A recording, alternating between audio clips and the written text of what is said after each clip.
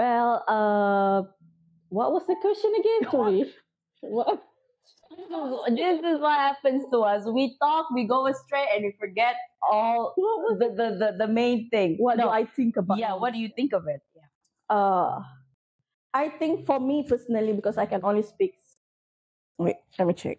Yeah, I can only. Sorry. Yes, we get very expressive as well. So yeah. For me personally, I can Mhm. only speak about myself, about relationship, long distance relationship. Um, it's difficult, but at the same time, with the right person, it is easy.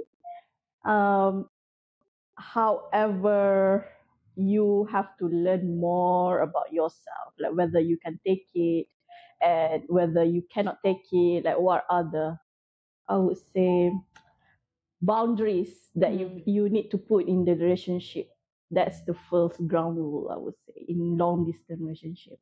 I'm not going to say that it won't work because right now, for me, it's working. but in the future, uh, hopefully, like I pray that it works.